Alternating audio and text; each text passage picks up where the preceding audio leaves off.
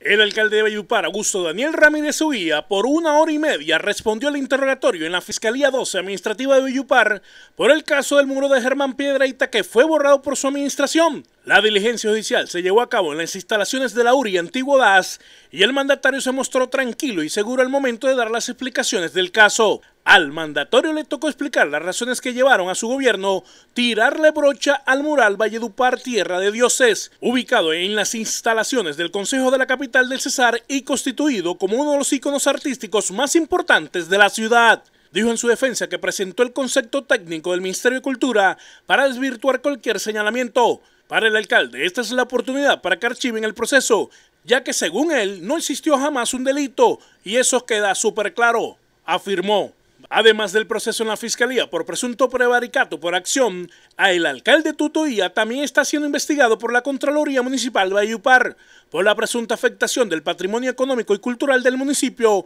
u omisión ante la intervención de un bien de interés cultural categoría a la que habría sido elevado por el Ministerio de Cultura mediante resolución número 0795 del 16 de junio del año 2000. Es de recordar que el mural pintado por el fallecido artista Germán Piedraíta en el año 1990 fue borrado en el año del 2018, generando una gran polémica en la ciudad de Valledupar.